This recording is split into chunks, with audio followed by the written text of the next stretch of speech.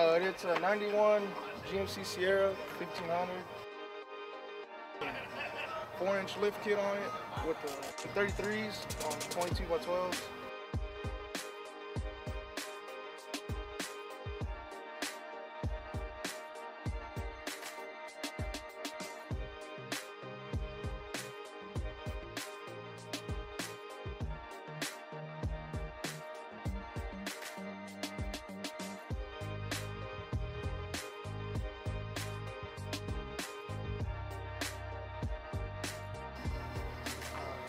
Plans for it right for further. I want to just do a straight axle swap on it. I'll even do like a little nine inch and get spacers all the way around it so it sits even even more wider than it is. I like it how it is right now, but you know you always want to go a little bit bigger. Yeah.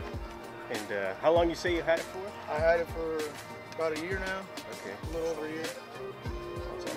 What made you want to get an OBS? Oh man, better looking than the newer ones that are coming out right now, really. You always had the older body styles and so I was like, yeah, I'd rather get at that than a newer one.